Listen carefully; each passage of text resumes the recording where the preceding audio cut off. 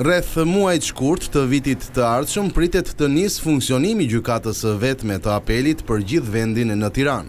Pasi harta gjyqësore u miratua, tashmë në Gjykatën e Apelit në Durrës kanë nisur përgatitjet për transferimin e dosjeve drejt kryeqytetit. Kjo fazë pritet të zgjasë dy deri në tre muaj. Për kreun e Dhomës së Avokatisë Durrës, Lovral Petani, për shkak të kësaj situate, vonesat në gjykim pritet të shtohen akoma më shumë tek çështjet civile, një pjesë e madhe e të cilave nuk po shqyrtohen që nga viti dy mijë e pesëmbëdhjetë. Shofim probleme me me gjykimet në vonesë, do shofim probleme me të zgjaten akoma më tepër të afateve të të të gjykimeve. Do do shohim dhe do njihemi me problemet që do sjellë rishqyrtimi i çështjeve gjyqësore, sepse do mblidhen dosje nga gjithë gjykatat e apelit gjithë Shqipërisë do mblidhen gjitha në Tiranë.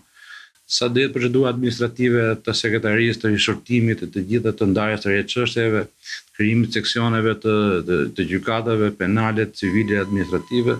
Pra, do jetë do jetë një një problem, po themi ne, relativisht në vete, një problem i ri dhe i panjohur edhe për avokatët, edhe për qytetarët, edhe për vetë gjyqtarët. Gjykata e Apelit në këtë qytet sipas burimeve pranë Dhomës së Avokatisë pritet që të zhvillojë gjyqe edhe gjatë muajit nëntor e më pas do të ndërpresë punën për shkak të procesit të transferimit të dosjeve. Shtyrje të çështjeve civile përtej afateve ka edhe në Gjykatën e Apelit Korçë. Gjykata e Apelit ka më shumë se tre vjet që në vitin dy mijë e nëntëmbëdhjetë që nuk po gjykon pothuajse asnjë çështje civile. Njëkohësisht është me vonesë edhe të gjykimeve të tjera që janë të rëndësishme siç janë fazat e para të pjesëtimit pasurive. Gjykata e Apelit është në fakt nuk ka të bëjë më shumë me fajin e gjyqtarëve sesa ka të bëjë me fajin e mosplotësimit të numrit të gjyqtarëve.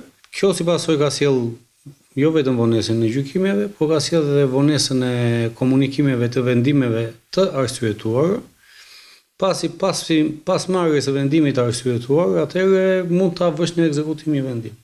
Vetëm pak ditë më parë në këtë gjykatë u plotësua një trupë gjykuese, por për avokatët është e pamjaftueshme pasi kalvari i dosjeve është tejet i madh. Momentalisht shqyrtohen vetëm masat e sigurisë dhe çështjet penale, por çështjet civile janë shumë të rralla.